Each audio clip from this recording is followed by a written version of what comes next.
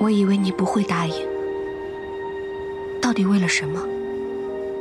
是命难违吗？你我都已经订了婚了，原因有那么重要吗？我来是想问你，答应这门婚事，究竟是不是你的意思？你若是不愿意，现在就可以。是我自己答应的。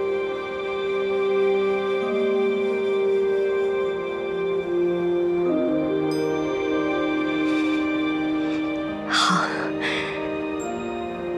有你这句话，我就放心了。终身大事一旦确定，就不要反悔。从今以后，你我二人夫妻一心，生死与共，莫要负我。